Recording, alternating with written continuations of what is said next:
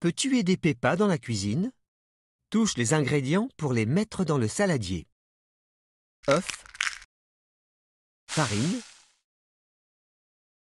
sucre, beurre. Fais bouger la cuillère pour mélanger les ingrédients du gâteau. Choisis un moule. Touche le moule pour y verser le mélange. Bravo Maintenant, il faut l'enfourner pour que ça cuise.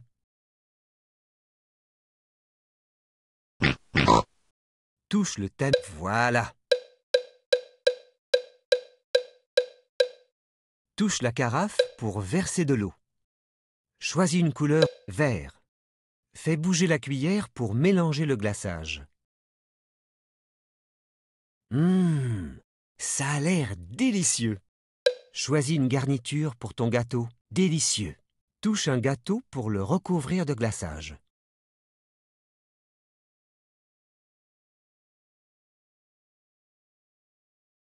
Maintenant, ajoutons des décorations.